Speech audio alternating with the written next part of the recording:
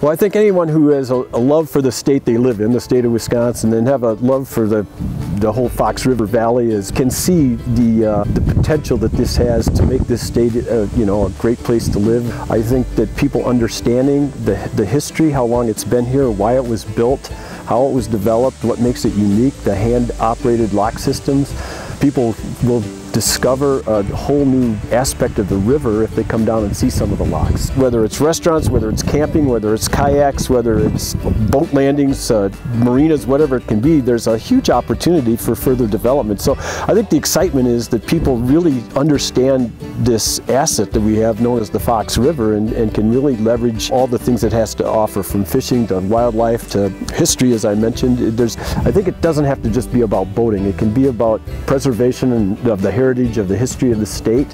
It can be all about another reason for people to come and visit. I mean, it's a very unique system.